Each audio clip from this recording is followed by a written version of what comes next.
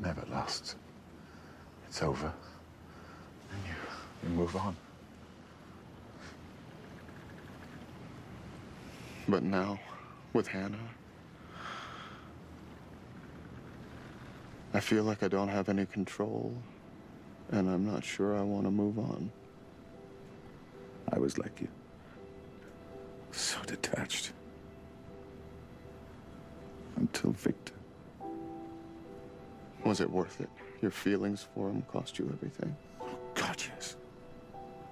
Being with him. I never had to hide.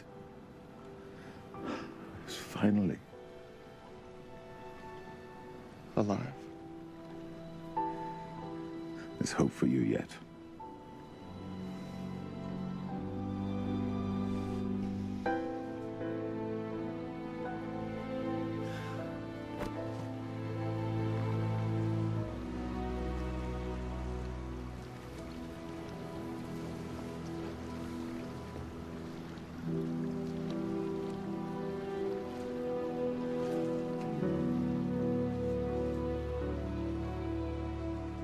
Watch any Western and you'll know a man out for vengeance should dig two graves, one for his enemy and one for himself.